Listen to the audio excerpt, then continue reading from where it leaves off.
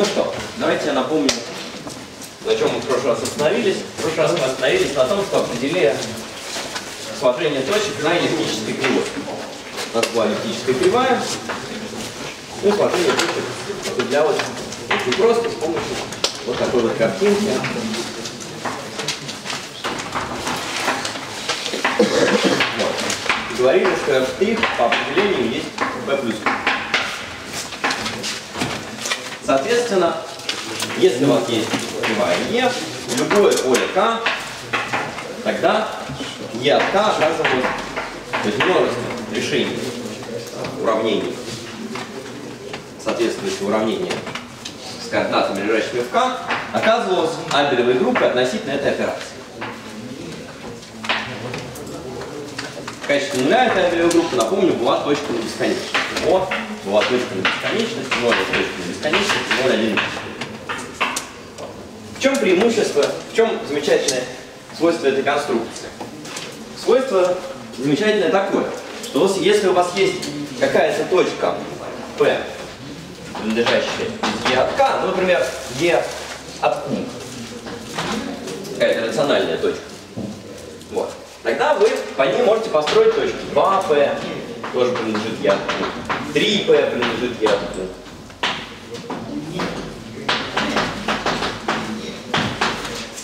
ну и так далее. То есть по одной точке у вас получается сразу много точек рациональных. Совершенно э, удивительно, что это возможно. Априори вообще, если вам дали произвольное многообразие или там произвольную кривую, непонятно, почему можно строить новую рациональную точку. На самом деле априори нельзя. А вот здесь можно. Если у вас есть две рациональные точки, то у вас еще больше возможностей. Вы можете построить точку p плюс q, p плюс 2p плюс 2 плюс q и так далее. Вот. Вот оказывается, на самом деле, над q, над рациональными числами, существует конечный набор точек, который порождает все. С помощью которого можно получить, получить любую точку на этой эллиптической кривой. Давайте я сформулирую теорему Варделла-Вейля.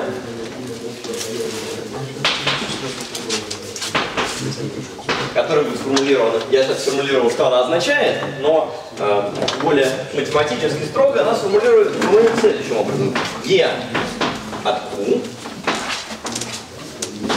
конечно порожденная Абелева группа.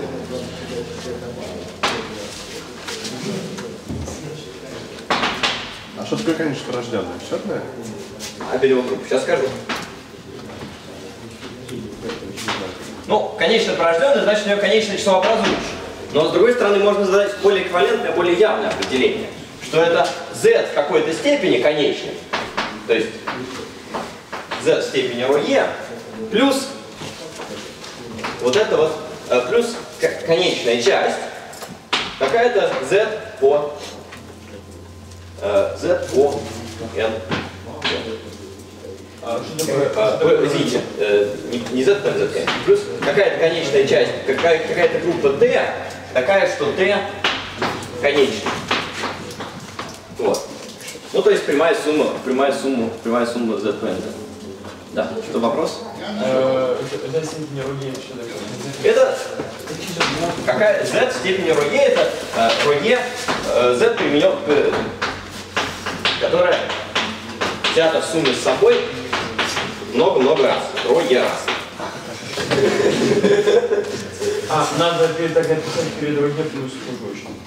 Ну, это как хотите. Можете писать плюс кружочки. Давайте, если вам так больше нравится, то я напишу плюс кружочек. Можно просто, это Андрей или Герман Это Андрей Это это вот такой вот фильм. А мордел так пишется. Мордел пишется э, как мордел. Так, один мордел. Вот. А. Если хотите, если есть такая просьба, то я могу писать все английские имена по-английски. А. Французские имена по-французски. Вей на самом деле французский. Главное, чтобы не было японских математик. Ну, меня... Да, с этим есть некоторые сложности. Надеюсь, аудитория меня не попросит. Японские математики у нас появятся, как вы можете догадаться, не вопросы Гриши, он просто так вопросы не будет задавать. А. Хорошо, вот такая теорема замечательная, которая показывает, что она означает еще раз, вполне э, таким, на, на пальцах. Означает она следующее, что существует конечный набор точек, конечный набор, из которых операции, вот такими вот операциями геометрическими, проводим через них прямую, берем точку пересечения, отражаем, получаем новую точку. Вот. Конечным набором таких операций получаются все рациональные точки на кривой, вообще все. Вот. То есть это дает описание того, как устроены точки. По модулю двух фактов. Вопрос, возникает два вопроса. Естественно. Первый вопрос. Как найти ранг? Второй вопрос. Как найти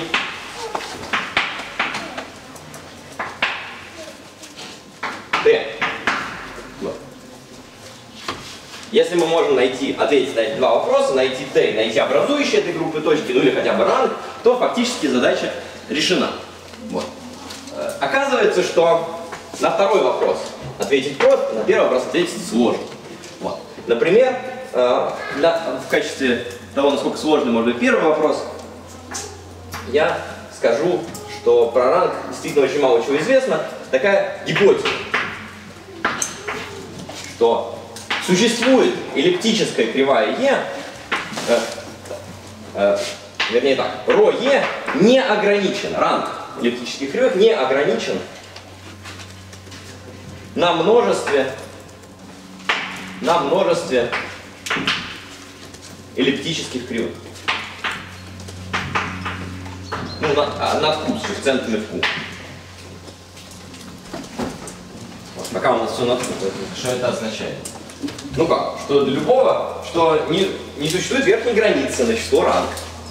Что не, не- неверно, например, что для любой кривой, а, эллиптической кривой зад, э, на, над q, эллиптической кривой, ранг, вот это число, оно меньше равно 28. А, имеется в виду, что может быть любое Может быть. количество элементов. Ну, любое, даже не любое, а просто сколько угодно большое. Мы не говорим, что все значения принимаются. Вот. Совершенно удивительно. Мы не можем сказать, насколько большое это число может быть. Не умеем. Эм, Например, вот, чтобы показать, насколько мы не умеем э, это делать, например, обычно в каких-то таких такого рода задачах, пример, э, числа бывают, границы бывают довольно большие. Вот здесь вот мы знаем э, максимально известный, известный, это известный это больше равно 28. Что значит больше равно 28? Это значит, что считать мы ранг не умеем, но, изве- но знаем, что он больше равен 28. Можем предъявить- кривую, которая ранг больше равен 28. Но считать этого мы его не умеем. То есть это на самом деле очень м, Мы, вот, теорема Мардела-Белли приводит к очень сложным, математически, объективно сложным вещам. Вообще-то, когда я сказал, что считать не умеем, ну, на самом деле умеем. А умеем его считать по модулю гипотезы Дольчесон Донда, о которой я говорил в введении, который непосредственно связан с задачей о конгруентных числах. И мы с вами... э, э, Можно найти в интернете уравнение такой кривой, э, этой 28 э, точек. вот, вот, вот, смотрите. У меня, к сожалению, нет э, слайдов, надо было подготовить, чтобы э, пугать какими-то большими числами. Вот, но, к счастью, есть чейк, который может помочь э, вот это делать. Вот, так вот, максимально известный ранг 28 э, э, позволяет найти ранг гипотезы Больчесона Дайера, но, к сожалению, она не доказана. Вот, про гипотезу Больчесона Дайера мы поговорим чуть позже. А пока давайте посмотрим на э, посмотрим на вот эту вот группу, на Т. Оказывается, что с группой кручения, вот с этой точкой конечного порядка, что значит, э, что точка принадлежит здесь? Это значит, э, принадлежит вот этой группе. Это значит, что вы берете ее кратности, значит, P принадлежит вот этой части Z в степени РОЕ, означает равносильно тому, что, что равносильно тому, что э, последовательность P, 2P, 3P и так далее не зацикливается. Я, конечно, говорю очевидные вещи, но может быть это полезно для понимания. То есть, иначе говоря, мы все время получаем новые точки. Вот такой вот итерации. Э, С другой стороны, э, для наоборот, если она лежит вот в этой группе Т, то, конечно, в конечной группе э, у каждой, каждого элемента есть конечный порядок. Вот. Как найти эту конечную группу? Ну, давайте я скажу, какой есть несколько теорем, две общих теоремы на этот счет. Вернее, одну общую теорему, одну конкретную, одно конкретное, две общие теоремы и одно конкретное вычисление. А вычисление мы будем делать до нашей кривой, которая связана с ингруентными числами. Теорема. Называется теорема э, Луценагеля. Луц. Я тебя виду. Луц. Нагель.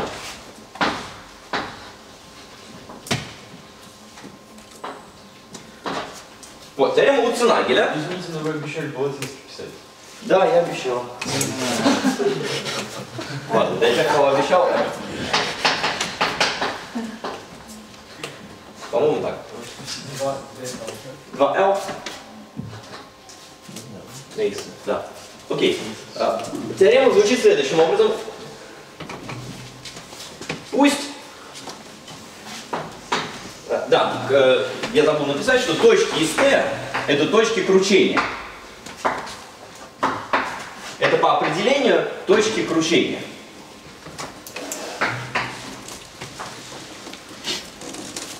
И обозначается это Т как Е от Q с индексом торс, slow torsion, кручение. А точка кручения что такое? Точки кручения это множество, это вот эта группа Т. Точки группы Т. А то есть они... То есть они имеют конечный порядок. А, Это все точки конечного порядка на эллиптической кривой. Определенно просто точки конечного порядка, которые ну, применяют конечное число раз вот эту операцию сложения, и получится 0. Вот. Так вот, теорема Луценагеля. Пусть Е задается уравнением таким вот, y квадрат равняется x куб плюс ax плюс b, как обычно. Но предполагаем, что а и b не рациональное целое. Этого можно добиться э, довольно просто. Просто взяв, э, заменив y и x на некоторые dy, dx. Ну, то есть умножить будет кратко. А, b целые числа. Это не сильно изменится. А, b целые числа. Вот. Пусть x0, y0 то принадлежит вот этой группе точек кручения, то есть точка конечного порядка.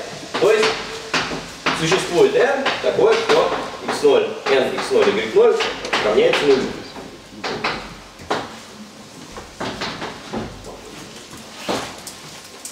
Тогда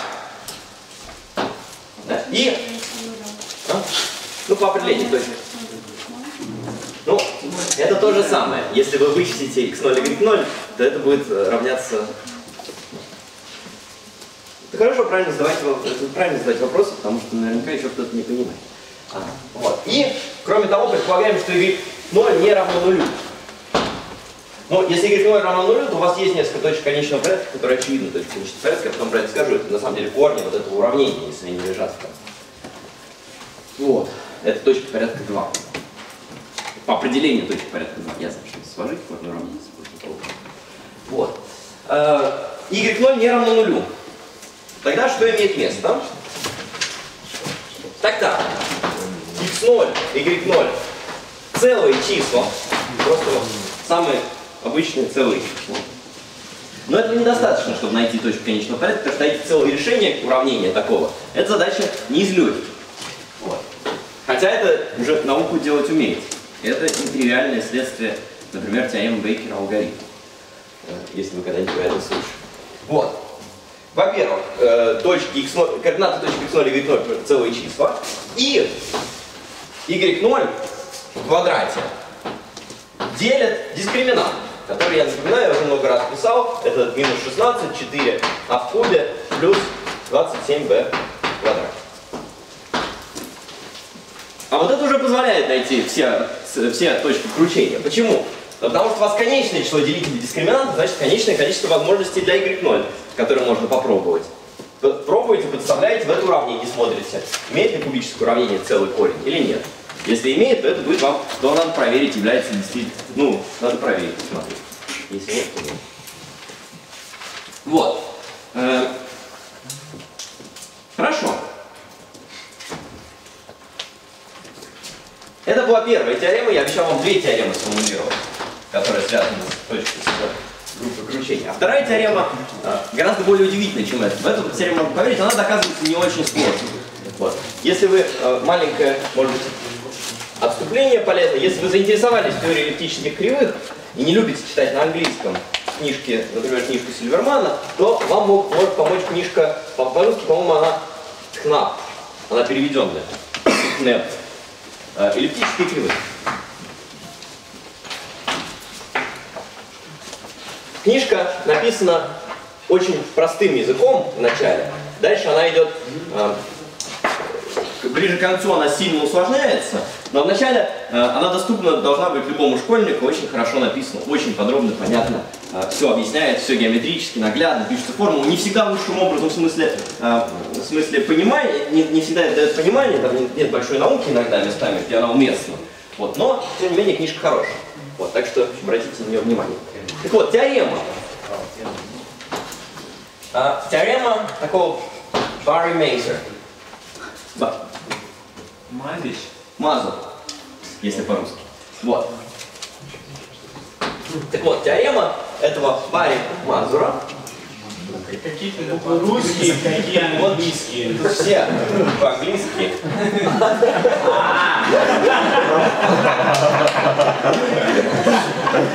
Нет, а, рукописная Z вполне пишется так же, как и русская Я Z. знаю, но тогда будет непонятно по- как- по-английски Нет, я Рукописная Z ведь, то есть может писаться как русская Z. Вот. Э, Я специально исправлю, чтобы было понятно, на каком языке написано. Э, Так вот, теорема Мазура совершенно удивительная и невероятная. Почему она выполняется? Э, Это сложный вопрос, это связано с так называемыми модулярными кривыми, описанием, описанием рациональных точек на модулярных кривых, что бы это ни значило. Это тоже задача о некоторых диафантовых уравнениях, но очень красивая и интересная задача, связана с модулярными формами, про которые мы поговорим чуть позже. Так вот, она утверждает следующее, что оказывается, вот этот вот порядок группы Е, Е конечного порядка для любой эллиптической кривой ограничен числом 24. Это порядок. Порядок. Порядок. Количество элементов. Это количество элементов в множестве. В множестве. Она достигается? Достигается.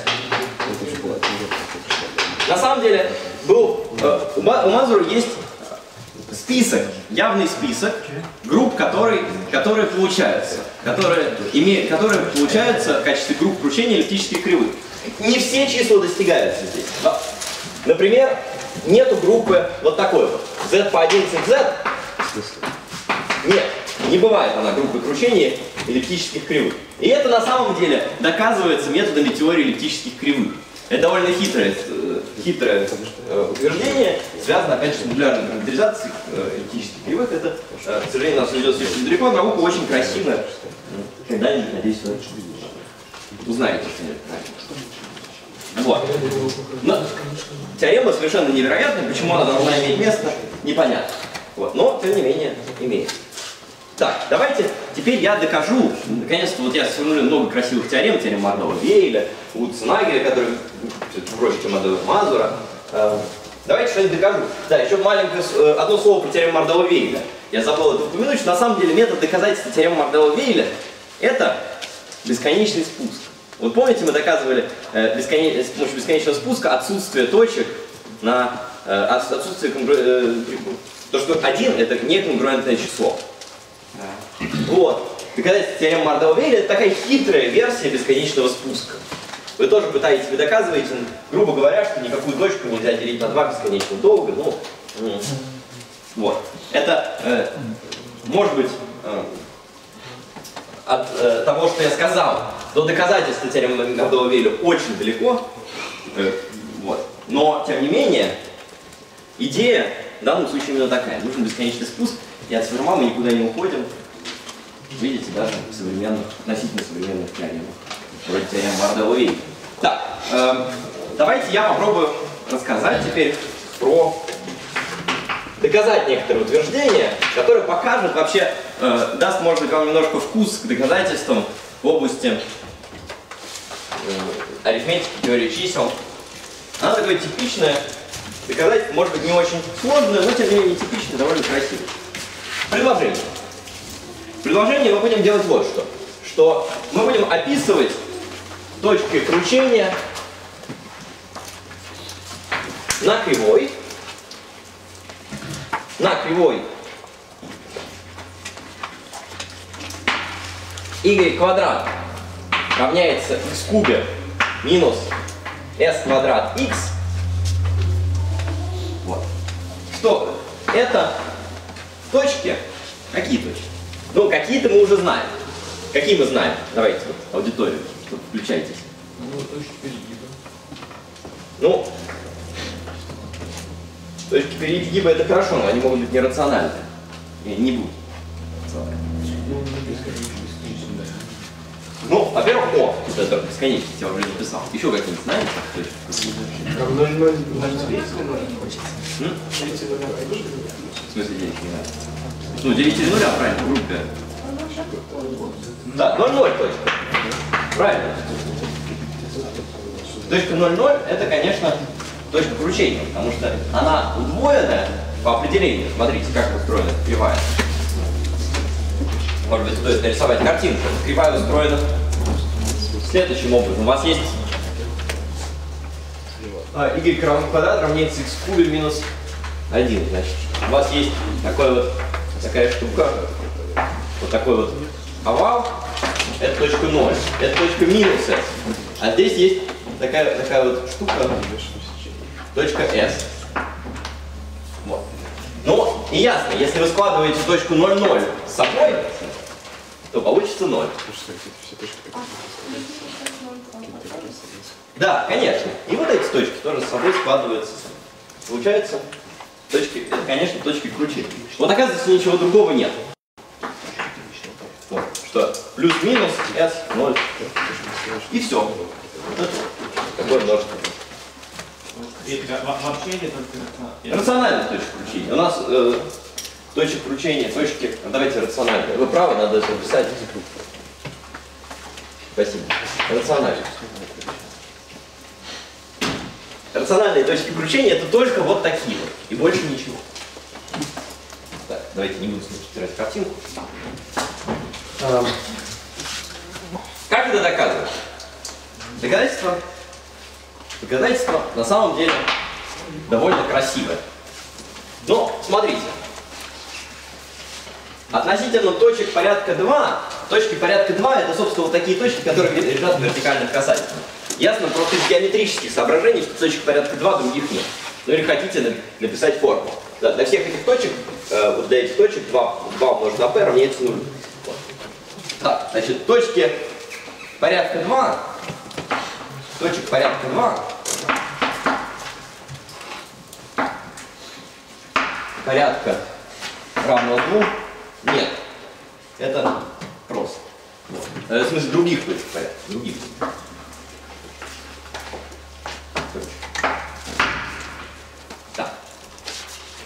Пусть, э, значит, что у нас еще есть вариант? Как помните, если, наверное, знаете, э, кто-нибудь читал что-нибудь про теорему Ферма, обычно начинается, надо сводить к простым показателям. Но у нас еще остается два случая, еще, остается, еще один случай, остается четверка. Здесь на самом деле остается два случая. У нас остается r равняется тройке и r равняется четверке. Э, вернее, порядок равен тройке, порядок равен четверке. Значит, у нас есть три варианта, э, два варианта. 3p равно нулю и 4p равно нулю. А почему Нет, подождите, это я пока разбираю простые случаи. Других нет. Э, Это мы сейчас уже с вами доказывали, сложная теорема. Вот два конкретных случая разбираем. Ну, геометри- геометрически точка в порядке 2 должна лежать на вертикальной касательной. Ну, по определению просто. Что, что значит, что точка имеет, что, что вы смотрите на точку 2p? 2p это значит, вы проводите касательную точку. Что значит, что она равна нулю? Это значит, что касательная вертикальна.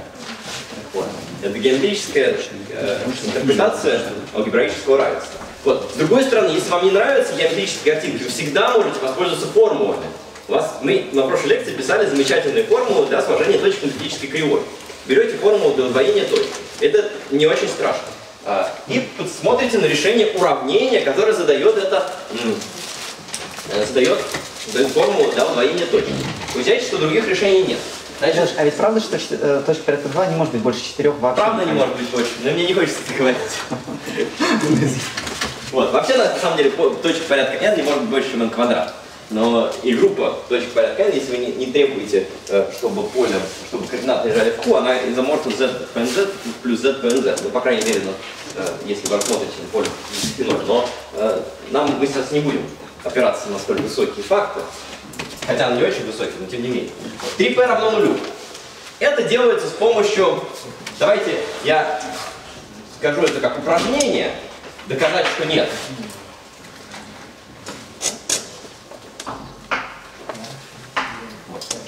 Значит, это можно делать либо с, я, с помощью явных уравнений, либо еще как. Ну вот, например, по, по поводу 3p равно нулю, вы можете све- свести это к 3p равно нулю. Это точка перегиба. Вы можете убедиться, что точек перегиба рациональных нет из геометрических соображений. Другой вариант, можете сказать, что это уравнение то же самое, что 2p равняется минус p, а 4p это уравнение, значит, это равносильно тому, что 4p равно нулю, это равносильно тому, что 2p равняется минус 2p. Ну и записать все в координатах.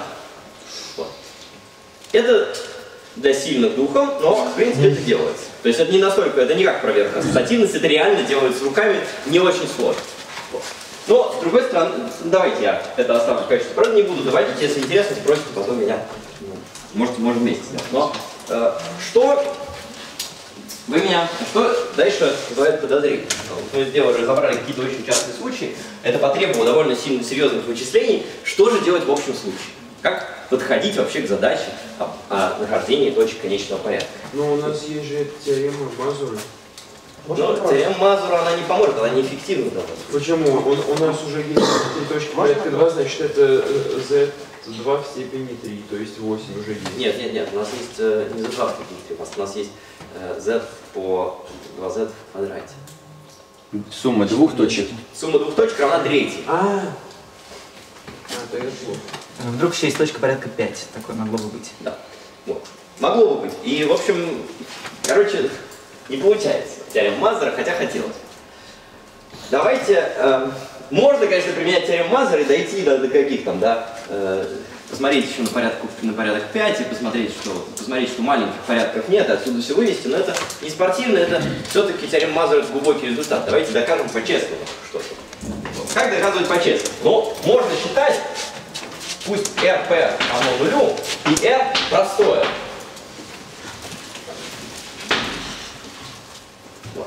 Метод, который мы сейчас э, используем для доказательства, он на самом деле очень важен. Он показывает, насколько важно менять поле, над которым вы рассматриваете. Вот. Вы это, конечно, уже знаете в каком-то смысле. Когда вы ищете, решаете уравнение в целых числах, вы смотрите на решение уравнений, на разрешимость уравнений по модулю P. Для какого там, по модулю P, по модулю M. Вот. Ну вот здесь мы тоже будем смотреть на, на решение уравнения по модулю P или по модулю M. Как мы это будем делать? Смотрите, пусть P простое число. P простое. И P не делит знаменателя точки, знаменатель. Точки. P, координат, э, координат точки P, точки P, и P не делит S. Зачем э, не делит, э, да, не делит S? Зачем мы это предположить? Затем, чтобы мы могли взять уравнение давайте, x0, y0, мы можем тогда, у нас есть равенство y0 в квадрате равняется x0 в кубе минус s в квадрате x0, уравнение на точку нашу, Леш, а вы не забыли про R? Или, ну, то есть нормально, то, что R и P это разные буквы. это разные буквы, это совсем разные буквы. R фиксировано, P, P это маленькое, а это P большое. Простите, если это непонятно. Вот, давайте я буду писать P, P большое, очень большое. Вот. И довольно жирное. Так вот, если у вас есть такое уравнение, и P не делит знаменатель точек x0 и y0, то вы можете, конечно, посмотреть это, на это уравнение по модулю P. Не правда ли? Ну, можете. Никаких возражений от вас я не вижу. Не вижу. Значит, мы смотрим на это уравнение по модулю P. Оно остается верным равенством. Вот. Ну, и если, давайте, пусть P с чертой, это то же самое, что просто точка P по модулю P. Ну, я просто такое обозначение буду, смотрите, буду писать. P большое, точка P большое по модулю P маленького. По модулю простого. Вот. То есть, иначе, да, а есть чертой, это просто кривая E по модулю P. Модуль P. Давайте вопрос еще раз назову. Э, что? Непонятно, что точка P. P по модулю P это просто вы берете, это точка, которая, координаты которой принадлежат, значит, точка P с чертой, это просто координаты, точка с координатами, с координатами, принадлежащими zp в квадрате, z по z в квадрате. Ну как, вы берете, э, смотрите, чему равен x0 по модулю p. Это точка, давайте, p с чертой, это точка с координатами x0 по модулю p и y0 по модулю p. А, сейчас. Леш, а, не, я думаю, что будет вопрос с тем, как переводить рациональное число по Ну, модулю P. Все знают, что z по z это поле. Но нет, поэтому берем поделим на знаменателя и получим точку А если в знаменателе P было? P не делит знаменатели ко- координат точек. Я как раз г- собирался спросить слушателей, зачем нужны были эти два условия? Что такое есть? Но вот есть особо умные слушатели, которые уже знают, зачем это условие нужно. Вот. Вот. Значит, что значит кривая по модулю P? Это значит, что коэффициенты, что берете уравнение, э, что просто кривая по модулю P, это коэффициенты берете по модулю P. Получаете тоже э, уравнение, но над полем Z по PZ. Вот. Понятно, что произошло? Кому не понятно? Давайте поднимайте руки, задавайте вопросы, не стесняйтесь. А S мы поняли тест, это чтобы она не выраженная, что ли? Правильно, да. P не делит S, чтобы она не выражена. Если у вас P поделила S, если, значит, если P делит S, тогда получается кривая над кривая над э, по модулю P это есть что такое? Это y в квадрате равняется x в кубе. Но это не вовсе не эллиптическая кривая, это кривая, которая выглядит совершенно э, неприятным образом. И на ней, например, точки так складывать нельзя, как у нас, э, как э, можно у нас. И вообще на эллиптической кривой. И вообще она ведет себя гораздо хуже, чем эллиптическая кривая. Поэтому мы выкинули точки P, делящие S. С ними мы не хотим работать. Мы хотим работать только так, чтобы по модулю P у нас была честная эллиптическая кривая. Еще вопросы? А P не равно? Э, ну, можно считать, что P не равно 2, хотя это не важно. Но да, важно. Ну, Важно, важно, важно, важно, важно, важно. Давайте P не равно 2. Вы правы, спасибо. Извините, Да. можно просто немного не по теме. Вот этот кривая y квадрат равно x куб рациональный или нет? Рационально. Он по теме вполне. Рационально, да. Вот. Она проще, чем эллиптические кривые. Ну так вот, еще раз. Значит, э, мы с вами посмотрели на решение вот этого rp равно нулю. Смотрите на rp равно нулю. И берем p по модулю p большой по модулю p маленького и кривую e по модулю p маленького. Значит, если, конечно, на кривой над z по pz тоже можно складывать точки. Мы с вами говорили, что складывать точки, когда мы писали формулу, увидели, что координаты, что коэффициенты в этих формулах, это просто целые числа, можно складывать точки над любым полем. Неважно от каких. Вот в частности, можно на z по pz. Давайте это сделаем и будем смотреть на множество точек. Значит, у нас есть множество точек e от z по pz. Э, Я буду z по pz обозначать fp, потому что z по pz очень долго писать. fp find fill with p elements. Поэтому f. Конечное поле с p элементами. Вот. Так вот. Значит, еще раз. Э, извините, есть чертой. p с чертой принадлежит с чертой от fp. Это мы убедились. То есть p с чертой, координаты p с чертой удовлетворяют уравнению вот это вот кривой по модулю p. Ну, конечно, вы просто взяли это уравнение и привели все по модулю p. Поэтому, конечно, как точка удовлетворяла, так она и останется удовлетворять. Что еще замечательно? Что R, P с чертой тоже равно нулю. Ну, как у вас были, э, как у вас было равенство нулю, так и, э, как вы умножили, вы могли, не- неважно, умножать ли над конечным полем или умножать над полем рациональных чисел, все равно формулы для умножения одни и те же. Вот. Поэтому, для сложения, вернее. Поэтому это равенство верно. Но смотрите, мы специально взяли, что r простое. Мы посмотрели, сделали так, чтобы r было простым. Так? Значит, никакая меньше... э, Смотрите, если r был бы непростым, то может так случиться, что rp равно, чертой равно нулю, но это не порядок точно, а есть какое-то меньшее число, для которого существует, существует k, что k с чертой равно нулю. Такое могло бы случиться. У нас это не случается, потому что r простое. Вот. Так как r простое, так как r простое,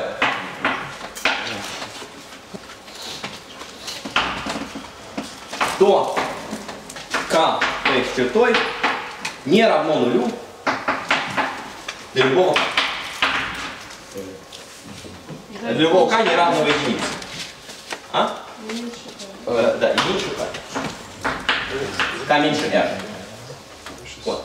То есть смотрите, из точки... Чем же не равны А чем же мне не нулю еще понятно, а, че- а чем единица нас не устраивает? Э, ну, э, да, единицу устраивает. Простите. Спасибо. Я единицу я держал по другой, по другой причине бывает, поэтому они смешались эти причины. Вот. Так вот, мы получили, чем э, это может быть не так просто для восприятия, но тем не менее важно это понять, вот этот метод рассуждения, который мы делаем. Мы взяли что-то по модулю P, получили из точки, конечно, из точки рациональной, из точки E в группе E от Q, группу E от Q исследовать сложно, точку в группе E от F, есть чертой от FP, которую исследовать просто. Ну, относительно просто. Давайте теперь что-нибудь скажем про группу от FP. Ну, первое, что напрашивается, это то, что она конечна, группа конечна. Не правда ли? Если вы решаете уравнение y квадрат равняется x кубе минус s квадрат x по модулю p, то несложно видеть, что у вас конечное число решений, потому что число вариантов для x и y конечно. То есть группа вот это вот конечна. А в конечной группе гораздо проще жить. Вот. Что можно, например, вывести про эту конечную группу? Нам поможет, на самом деле, нам поможет следующая лемма.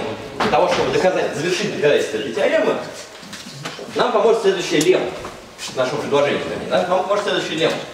Лемма такая, что порядок группы, давайте обозначим эту кривую ES, ну, E с индексом S. Кривую, связанную с конкурентными числами, это обозначим E с индексом S. Так вот, порядок группы ES от FP равен, мы можем его вычислить. Чему он будет равен? Он равен P плюс 1, если, ну, к сожалению, не всегда можем вычислить. В половине случаев. Если P равняется 4К плюс 3. То есть, если P простое вида 4К плюс 3. Сейчас вы увидите, где это условие возникает. Мы сейчас теорему, вот это предуравнение доказываем. Вот. Доказательство. Ну, всем фор- формулировка лемма понятна? Нет? Непонятно? Кому непонятно? Кто уже потерялся? Вы потерялись. На каком моменте вы потерялись? Давайте попробуем реанимировать некоторых людей. Восстановить их из бытия. Сначала лекции, тогда это А у нас теперь нет, а у нас теперь получается, что а у нас получается мы рассматриваем только согласительные решения вот этого. Мы рассматриваем решение уравнения, лежащее в FP. Z и PZ. То есть, то есть, то есть целые числа по какому-то модулю? Да, да. Все, А можно видите? вопрос? Да.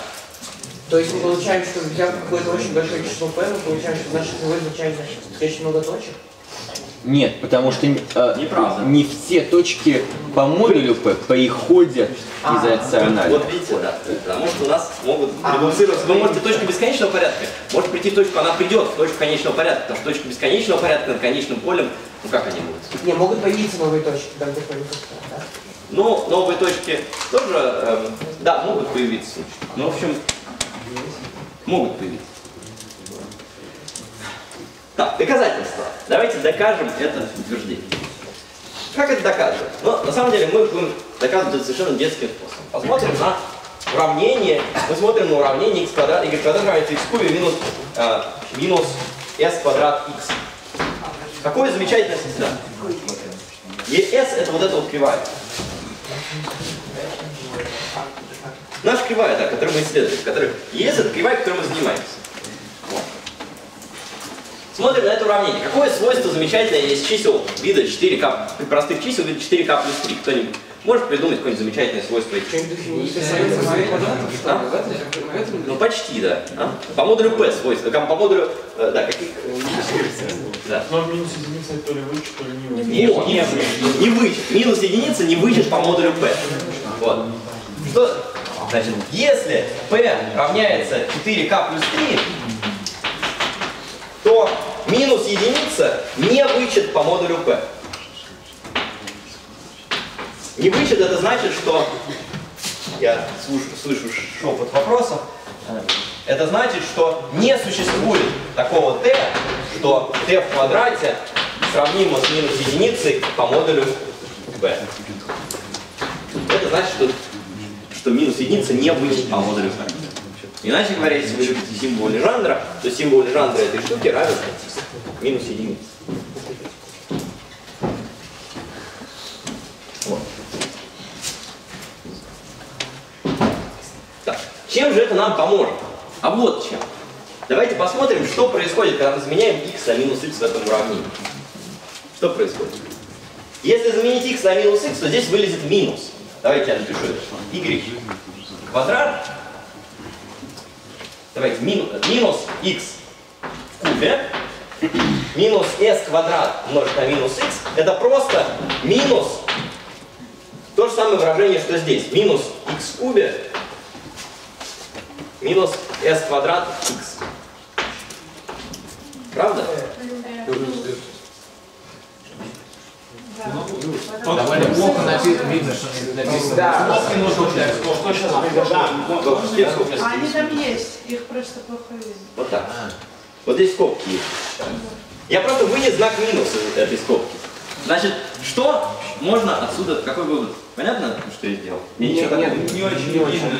не видно. Хорошо, давайте я еще раз напишу. Вместо x поставили минус x. Вместо x поставил минус x, пока больше ничего не сделал. Вот. Это можно даже было не писать. Значит, что отсюда следует?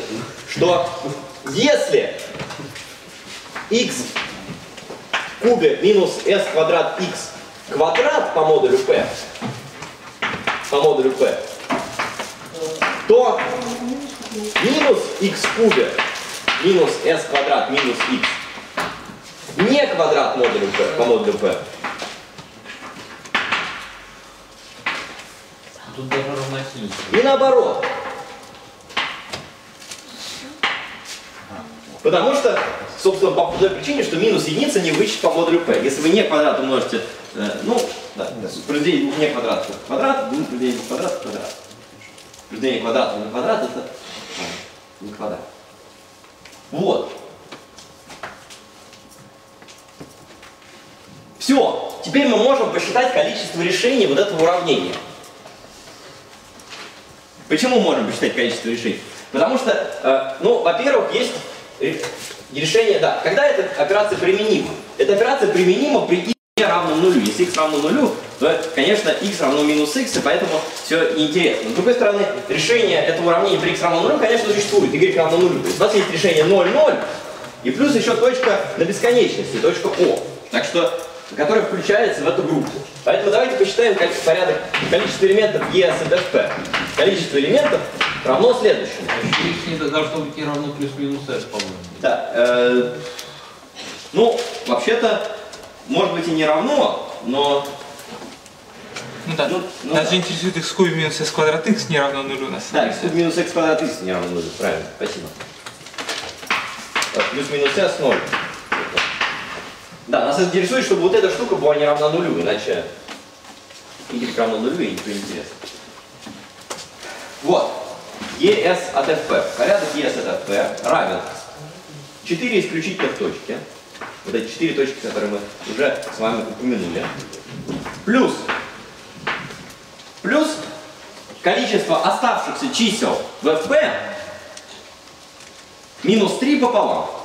Почему минус 3 пополам? Потому что три точки мы выкинули, 0 плюс-минус s мы выкинули.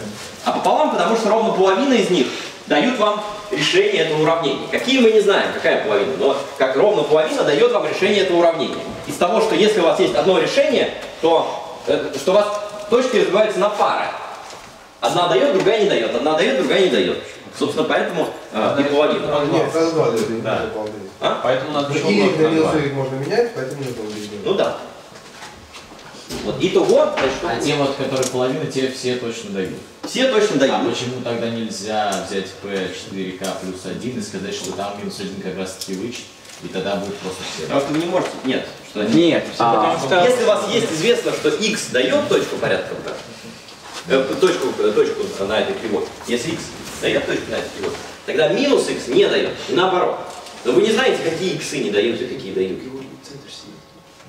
То есть будет происходить следующее, что у вас сейчас все разбилось в точности на пай из тех, из кого получаются 2, из тех, из кого получается 0, а для простых вычислений ну, будет пай из тех, кого получаются 2 и 2, и, и кого получается 0 и 0, но неизвестно, будет ли этих пай поровну.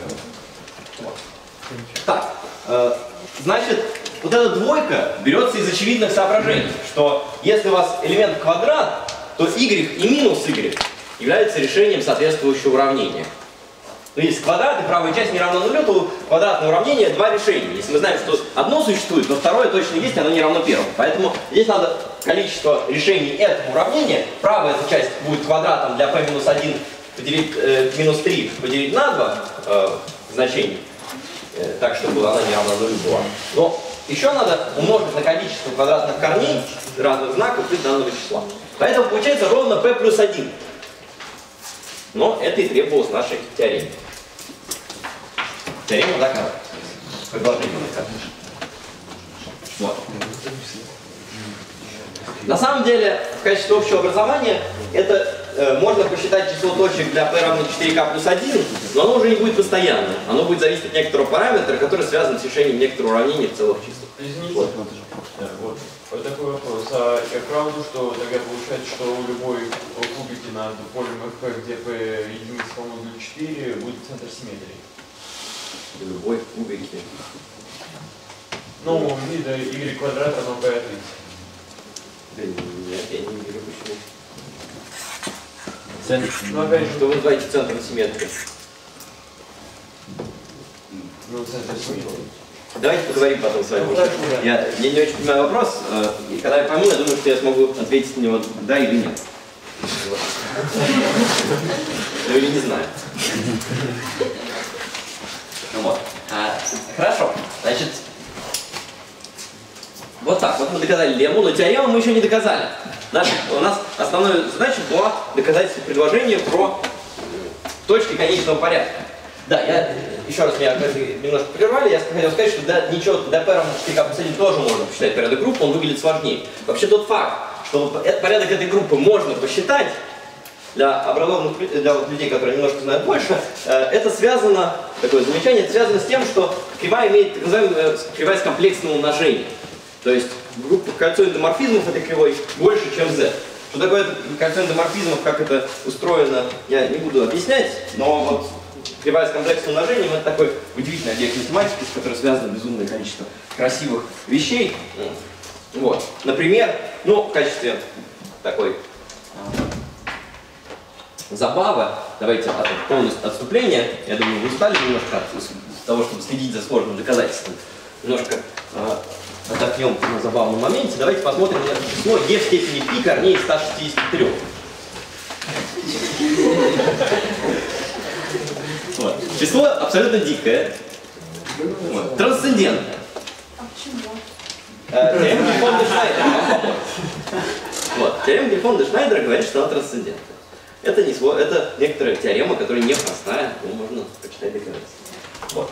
А, Но если вы начнете его читать, как, как бы ни было, ну, ру- руками или калькулятором, там, то вы посмотрите, что это, это число на самом деле очень большое. А, извините, а почему теорема Гельфонда Шнайдера, не Е, не Пи? Теорема Гельфонда Шнайдера изражает в степени B, также B это алгебраично. Ну, правильно, да. А Е, а, а Пи как Нет, а, э, экспонент а, e в степени и пи равно минус единице. Да. Поэтому об этом числе, наверное, можно думать как о минус единице в степени... Это минус единица в степени корень из 163. И 163. И. И поэтому это теорема Гельфонда Шнайдера. Это хорошее замечание, действительно, потому что, э, не- может быть, не, вся- не совсем очевидно, почему это теорема Гельфонда Шнайдера. Вот. Вот еще раз, еще один пример, показывающий пользу комплексных чисел. Так вот, если вы начнете считать это число, то вы обнаружите, что вот это число равно, ну, давайте я напишу формулу, 600, э, 640 тысяч, 320 в кубе. Э, Понятно, что это число довольно большое. Плюс 733.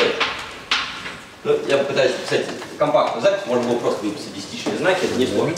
Вот. Вот. А дальше начинаются нули после запятой. Это его целая часть. А после этого идет ноль. И вот этих вот нулей будет. Сколько бы вы думали? 12 штук?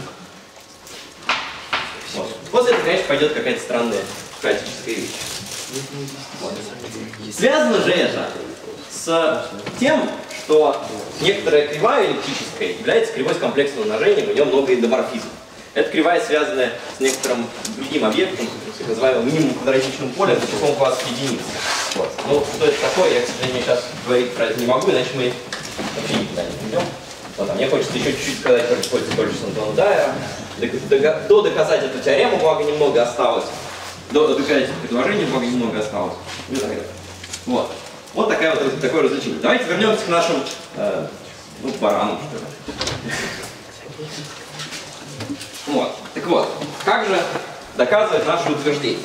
Мы с вами посчитали порядок группы, посчитали порядок группы ES от От FP равняется P плюс 1 при P сравнимы с, при P сравнимы с, 4, с тремя по модулю 4. Что мы можем вывести из этого равенства? Что мы можем вывести? Ну, мы знаем, что RP равняется нулю. И порядок элементов в группе RP с чертой равняется нулю. Порядок элемента группы в группе делит порядок группы. Всем это известно. То есть R делит P плюс 1. Понятное рассуждение? Это стандарт теоремы Лагранжа, о том, что порядок любого элемента в группе делит порядок э, группы. Кому не ясно? 733 научно 700... 744. Это константный... Это, константный- э, э, Константный член же инвариант. 744, Леш. 644, значит я. Сейчас это ясно. А? Сейчас это ясно. что- Сейчас нет.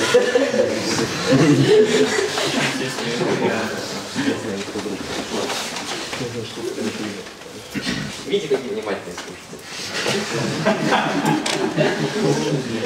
А, Ну что, а, значит, отсюда следует, что R делит P плюс 1. И это должно быть подозрительно. Правда же? Но подозрительно, что для любого простого P сравнимо с тремя по 4, которое, ну, кроме конечного числа. Значит, итог, итог, вывод. Для любого простого P, P, кроме конечного числа, какого конечного числа? Конечного числа это те, которые делят знаменатель точки P, точки P большое, и те, которые делят S. Вот этих конечное число, поэтому для любого числа, про- простого числа, кроме конечного числа, простого P равное 4K плюс 3, кроме конечного числа, R делит P плюс 1. Вот какой мы вывод сделали. Но согласитесь, это очень странное число. Такого числа не должно быть. Но для того, чтобы строго это доказать, нам понадобится одна большая теорема, которая называется теорема Дирихлея арифметических прогрессиях. Я обещал писать по-английски или по-французски. Дирихле. Вот. Э, а, э. Вот я сейчас объясню, почему такое. Ну, как-то очень странно, что вы берете любое простое число вида 4К плюс 3, любое, и оказывается, что R делит по плюс 1. Ну, это может быть два. Ну, странно. Нет, ну, R мы выкинули. R2 мы выкинули. Вот. R у нас больше. Больше оно. Дирих- Теорема Дирихле утверждает следующее. Что если у вас А и Б натуральные числа, при этом А и Б взаимно просты, взаимно просты, тогда существует бесконечно много, бесконечно, бесконечно много чисел, простых чисел, я же не просто чисел, а простых чисел, вида 4 э, АК плюс Б. То есть в арифметической прогрессии с разностью А и свободным и начальным членом Б. Вот такая вот теорема. Теорема, например, в частности, отсюда следует, что существует бесконечно много простых чисел вида 4К плюс 3. Наверняка вы умеете это доказывать. Отсюда следует, что э, существует бесконечно много простых чисел вида 4К плюс 1. Наверняка уже не все умеют это доказывать. Это чуть более сложный факт. Вот. Ну и так далее. В любой арифметической прогрессии э, находится бесконечно, найдется бесконечно много простых чисел. Доказательство это используют так называемые L-функции Дирихле. Э, Про L-функции я скажу в самом-самом конце лекции, буквально пару слов. Вот. Но это будут L-функции эллиптических кривых. Оказывается, что вот здесь тоже возникает L-функция. На самом деле, такое маленькое мета-математическое замечание, что L-функция это такой объединяющий объект в математике, который полезен э, ну, по крайней мере, теория чисел, на самом деле, не только теоретические, динамические системы, теория особенностей, очень много-много где возникает э, теория рефу- э, возникают рефункции, это такая вещь, которая совершенно непонятна. Почему? Э, объяснение, объяснить это вот так вот математически не получается. Э, возникает, на самом деле, оказывается полезным в очень разных областях, позволяет доказывать совершенно удивительные факты. Вот, в частности, теорема Дирихле об арифметических прогрессиях. Собственно, Дирихле был первым, кто э, серьезно исследовал L-функции. Вот. Они называются L-функции, некоторые классы L-функций называются L-функциями Дирихле. Это обобщение зета-функции Римана. Зета-функции Римана, наверное, все знают. Зета от S сумма э, единиц на n степени S. Память больше на единиц, но вот обобщение этих зета-функций связано доказательной теоремой. Ну все! Давайте, я теперь уже, наверное, очевидно, как выводить отсюда из этой теоремы Дирихле, что таких чисел R не бывает. Как выводить? А, а, а не проще просто взять где-нибудь два, два простых числа, два числа, два числа таких, два таких числа плюс один, один и больше общий делитель, заметить, что... И что? Он может А, быть... а это как может скрыть то конечное число? Дело в том, что непонятно. Нужно, да, вот это называется исключить конечное число, и это не очень понятно. То есть это, ну, действительно непонятно. Я не знаю, как это доказывать без теоремы Дирихле. Если вы предложите метод, я буду очень рад. А. Вот, P равняется 4К умножить на R плюс S. Плюс 3, простите, плюс 3. Возьмем, воспользуемся бесконечностью простых чисел вот в такой арифметической прогрессии. Таких чисел бесконечное число. Таких простых чисел бесконечное число. Но что тогда будет иметь место? Тогда найдется хотя бы одно такое число. Для такого числа, для такого числа, во-первых, оно имеет вид 4k плюс 3, ну потому что, понятно. Вот. И для такого числа p плюс 1 равняется 4k умножить на r плюс 4, а r у нас больше равно 5. Мы специально выкинули r равняется четверке, чтобы э, здесь не возникли проблемы. r равняется тройке. Ну и все, отсюда следует, что r не делит p плюс 1. Следует противоречие. Вот так вот мы с вами хитрым довольно-таки рассуждением получили, что группа кручения, то есть на нашей эллиптической кривой, которую мы исследуем, это просто-напросто группа, состоящая из уже известных нам точек О плюс У0, 0, 0 э, плюс-минус S0. Вопросы? А в чем проблема с двойкой? Ну, там, по-моему, где-то раньше были проблемы, мне кажется. Какая это группа? Что, ну, Это группа Z2 плюс Z2. Значит, Следствие. Давайте следствие. Следствие, которое имеет непосредственное отношение к нашей задаче, конгруентные числа. Какое же это следствие? Вот. Следствие такое, что ρ, ранг нашей кривой ES, больше или равен единице, тогда и только тогда, когда S конгруент.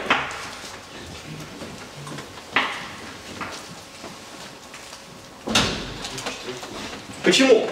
Да потому что мы говорили, что число s конгруентно тогда и только тогда, когда над кривой ES найдется, значит, напомню, что s конгруентно, тогда и только тогда, когда на ES существует точка, рациональная точка, x0, y0, с координатой y0 не равной нулю. Но что значит, что мы знаем, что все точки кручения имеют y0 координату равную нулю. Ну еще плюс точную бесконечность. Ее мы здесь вообще не рассматривали, когда говорили. Вот. Поэтому, если число конгруентно, то на, точ... на кривой найдется точка бесконечного порядка. И наоборот, если на кривой найдется точка бесконечного порядка, то число конгруентно. Кстати, отсюда следует, что если у вас есть один треугольник для конгруентных, для, того, для конгруентного числа s с площадью s, то их найдется бесконечно много. Почему? Потому что вы можете умножать вашу точку, которая вам уже известна, бра- брать ее, складывать с собой. p плюс b плюс p плюс p плюс p и так далее. Сколько угодно раз. Вот. Понятно следствие? Вот. Казалось бы, мы продвинулись не очень далеко, взяли какое-то... э, Я сказал, что ранг это таинственное число. Что же нам тогда делать с ним? И как же нам помогает решить задачу конгруентных чисел? Ну, к сожалению, мне осталось мало времени очень. Но я постараюсь, тем не менее, рассказать пару слов про гипотезу Дайера. И это Берча Swinnerton Dyer. А? А, Берч, Свиннертон,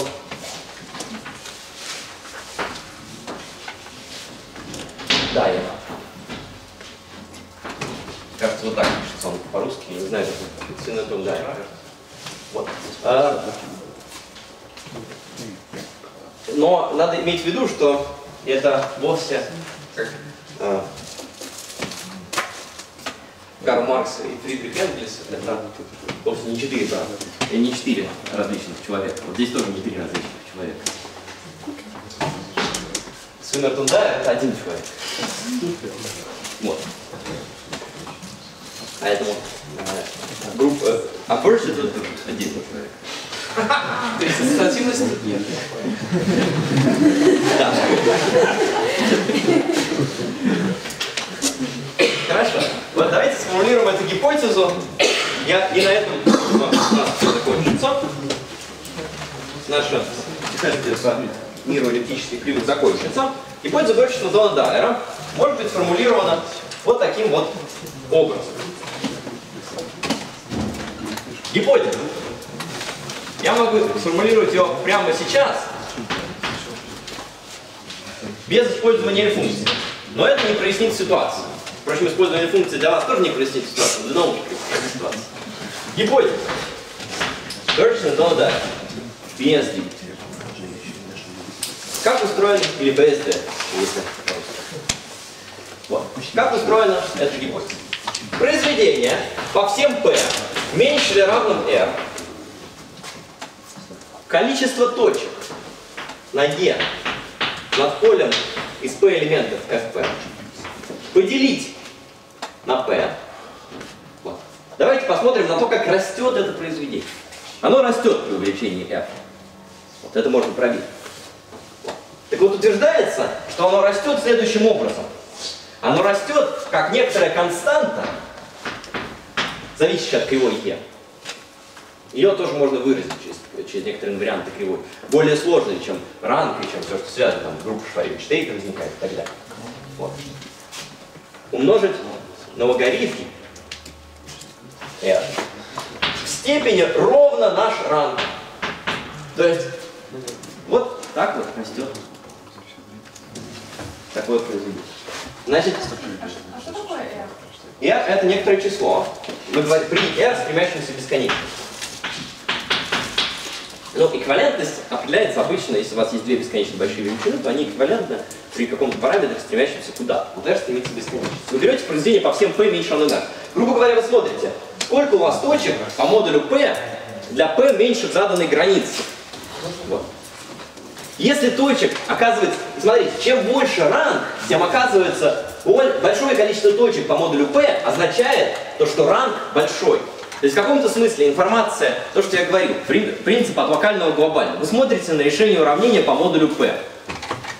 И оказывается, что структура решения уравнения по модулю P определяет структуру решения уравнения Q. Так же, как для квадратичных форм. Помните, у нас была теорема Минковского-Хасса, что если уравнение разрешимо по модулю m для любого m, для любого натурального числа m, то оказывается, что исходное уравнение, ну и разрешимо в то исходное уравнение разрешимо в рациональных числах, и здесь то же самое, только гораздо более тонко. Здесь мы ранг вычисляем, исходя из знания, как устроено количество решений по модулю P. Естественно, предполагать, что большое количество точек над Q даст большое количество точек над э, простым полем. Ну почему? Потому что ясно, что чем больше у вас точек над Q, тем больше вы можете взять по модулю P, и тем больше вы получите точек. Но вот эм, то, что имеет место такой феномен, это удивительно и красиво. А, На самом деле догадались до гипотезы Берджсон-Дондайер, Берджсон-Дондайер именно таким образом. Они смотрели на эллиптические кривые, считали количество точек по модулю P, считали ранг. И оказывалось, опс, оказывалось совпадение, вот такой вот рост. Рисовали картинку, график, смотрели на какие-то там произведения или что-то, рисовали график и получали вот такую вот картинку. Вот. Давайте в качестве последние несколько минут я сформулирую другой вариант этой гипотезы, который уже можно к нему приблизиться и можно пытаться его доказывать. Вот этот вариант гипотезы невозможно пытаться доказывать, абсолютно непонятно, как его доказать. Вот другой вариант гипотезы доказывать можно. Для этого мне придется ввести так называемую эллиптической кривой. Вот. Что такое L-функция эллиптической кривой? Э, Единица, давайте введем локальный множитель этой эллиптической кривой. Э, Будем писать, что это единица минус АП, p в степени минус s плюс p в степени единицы минус 2s. Ну, давайте будем считать, что дельта e не равно нулю по модулю p. Где дельта e не равно нулю по модулю p, по модулю p, вот. А p это просто число точек, но только нормализованное. Плюс 1 минус количество точек на e от fp. Мы видели, например, что в точке, что в случае кривой, а, связанной с конгруентными числами, вот это число для простых видов 4k плюс 3 равно нулю. Вот. Оказывается, что имеет место более общая теорема Хасса, про которую я скажу буквально пару слов, что модуль АП меньше или равно удвоенного корня из P. Всегда. То есть количество точек на эллиптической кривой растет, как количество точек на проективной прямой. С точностью до маленького поправочного члена. И про это расскажет Рома Федоров. Он обещал рассказать это. связано с э, гипотезой Римана над конечными полями. Это называется гипотеза Римана для эллиптических кривых над конечными полями. Она не гипотеза никакая, доказанная теорема. Связана с очень красивыми методами. Мне, увы, не хватает времени э, про это говорить. Про это можно рассказывать отдельные лекции, не одну. э, Что, собственно, Рома Федоров будет делать постепенно, подходя к этой А. Леша, если можно сказать все-таки одно слово, то как раз э, это утверждение, что тех самых па из двух, э, 2-2 решений и 0-0 решений у нас примерно поровну, а отклоняется не слишком сильно.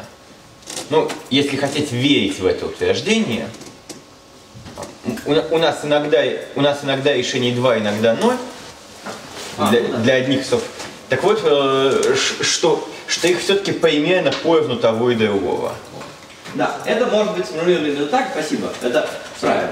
Э, Вот. Давайте, э, почему нам э, это хорошая оценка, это значит, что вот этот вот член, что эта штука растет не очень быстро, Э, LP от не- растет не очень быстро. Давайте теперь напишем L-функцию эллиптической кривой, ну такую непопол- неполную функцию, да. Здесь надо было написать минус первый, простите.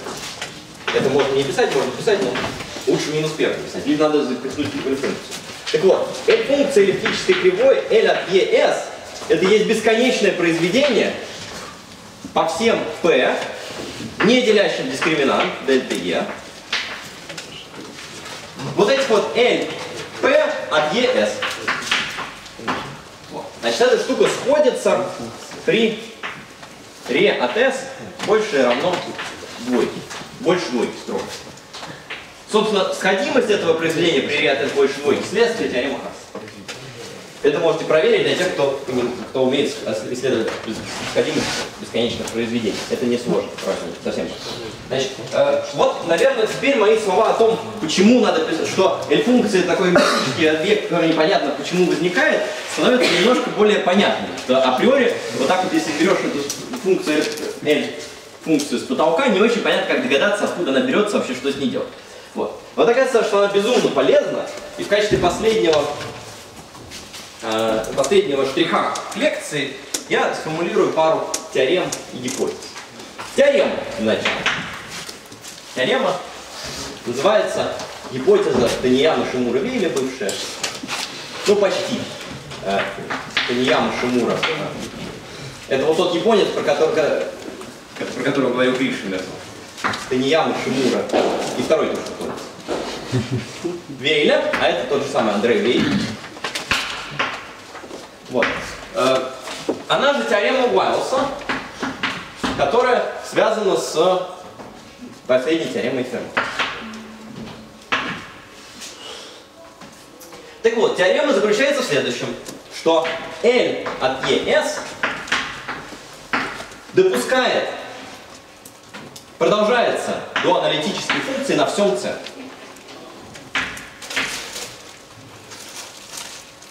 До аналитической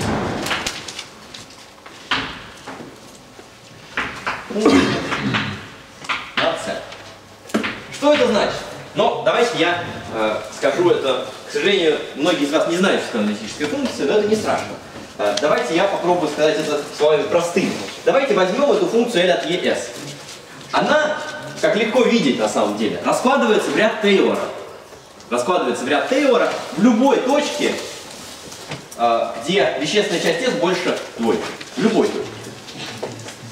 Ну понятно, потому что это, ну, это легко проверить, просто посчитайте производные, там как-то ограничить, может сходится там все. В общем, она, э, она очень мало, очень, видите, эта штука, если S большое, с большой вещественной частью, то эта штука очень маленькая, и, в общем, понятно, что э, очень близко к единице, поэтому понятно, что у вас э, можно разложить L от ES, значит, L от ES раскладывается в ряд Тейлора,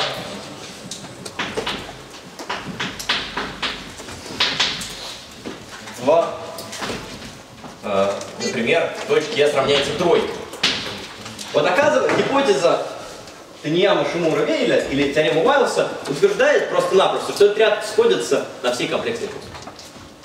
Все. Больше ничего. Теорема эквивалентна тому, что ряд сходится C.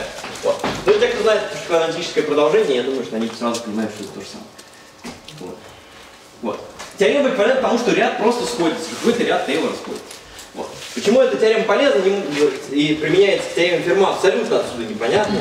И есть много переформировок этой теоремы, есть переформировки красивые, геометрические, комплексно-аналитические. Э, вот. Есть э, формулировки в терминах представления ГУА, в терминах много чего другого. Это все от нас сейчас далеко, это отдельный сюжет, очень красивый, э, связанный с теоремой Ферма. Давайте я э, последний штрих, это переформулирую гипотезу БСД. Гипотеза БСД другими словами. Ну, смотрите, L от ES это теперь у нас функция, которая задана на всей комплексной плоскости. Причем еще раскладывается в ряд Тейлора. Давайте переразложим ее ряд Тейлора в другой точке. Давайте разложим L от ES в ряд Тейлора в точке единицы. Там, где на самом деле изначально вот эта штука в единице вовсе не сходится. Вот. Но разложим ее в единицу. Плюс что-то там, плюс какая-то там CG1 умножить на что-то такое, на S минус 1 в степени RE плюс 1. Вот такое вот разложение в ряд. Э, Это все члены большего порядка. Это конструкция Е не совпадает с... CE сломан, да. Спасибо. А, CE1 и так далее. А если между какой? А, Что-то написано, в степени RE. Вот. Значит, гипотеза утверждает следующее, что гипотеза утверждает следующее. Тогда, пусть вот это верно, пусть разложение в ряд, тогда ρe равняется RE. Это называется равенство аналитического ранга и алгебраического. Оказывается, что ранг, вот это число, которое получается из аналитических соображений, оказывается равным совершенно алгебраически заданному числу или даже геометрически заданному числу, получаемому с помощью касательных, секущих и всему, что с этим связано. Вот. Э, ну, в качестве, может быть, маленького-маленького последнего замечания, давайте, э, у меня не сохранилось LP, но давайте, у вас оно сохранилось наверняка, у тех, кто пишет. LP а, в точке единица, если подставить, просто грубо подставить точку LP от E единицу, то вы получите вот такое выражение. Единица минус AP умножить на P минус 1 плюс P минус 1. Определение AP у вас сохранилось, и вы получаете, что это равно ничему иному, как порядок E от FP поделить на P, который участвовал в первой формулировке теоремы гипотезы Дорчестон-Тунда. Да. Э, да, да, да, да, да. Давайте. Порядок E от FP поделить на P. Просто подставили единицу сюда. Вот. И понятно, отсюда следует, что, ну как не следует, по, крайней мере, на интуитивном уровне, понятно, что вот эта гипотеза должна быть связана, гипотеза изначальная про произведение связана должна быть с гипотезой про L-функции. Оказывается, это так. А К сожалению, а то все-таки непонятно. А вот, вот это, а вот этих функций сказать, что число f уже любым может быть. число S, в смысле любых, это предложение в ряд Тейлора в окрестности точки единицы. Не, ну как, вы определили функцию f и. Да. Это число. Оно, оно в данном случае может быть любым действительным. В любом комплексе. А, ну да. Вот. Но вы можете разложить в ряд Тейлора в окрестности точки S равняется единице, и после этого вот дать такое равенство. Это члены выше, больше, более высокого порядка. Можете сказать, что предел при, э, если поделить L от ES, поделить на S минус 1 в степени RE, равно числу неравному нулю. Извините, что я вас задерживаю, я понимаю, что задерживаю, но последние минуты э, хочу хоть предосказать. Значит, отсюда ведется следствие, что S конгруентно тогда и только тогда, давайте n конгруентно, вот, тогда и только тогда, когда L от EN в точке единица равно нулю. Почему? Ну потому что тогда и только тогда, когда ранг больше равен единице. То есть тогда и только тогда, когда число вот это вот, это вот значение функции равно нулю. Вот. Дальше, если бы у меня было бы еще, было бы еще время, я бы вам бы рассказал бы, как посчитать значение вот этой вот L функции. Оказывается, оно выражается через значение тетка функции, так называемой. Коэффициенты, вернее, через коэффициенты в разложении ряд тетка функции. Вот. Совершенно удивительным образом, абсолютно непонятно, откуда это берется. Это связано с молекулярной формой целого веса, полуцелого веса. Вот, эм, ну, по крайней мере, надеюсь, отсюда уже стало понятно хотя бы, как связать задачу о конгруентных числах с, с каким-то, априори с каким-то равенством, с каким-то равенством на э, другие числа, как было формулировалось в критерии Таннова, который я, э, про который я говорил на, в самом начале, в анонсе моего курса. Вот. Ну, на этом я, к сожалению, завершаю. Мне придется остановиться здесь. Надеюсь, что вам понравилось вся это, все это нагромождение математических методов, начиная от геометрии, алгебры, э, заканчивая логикой и анализом, с чем только нет посередине. Вот. Спасибо.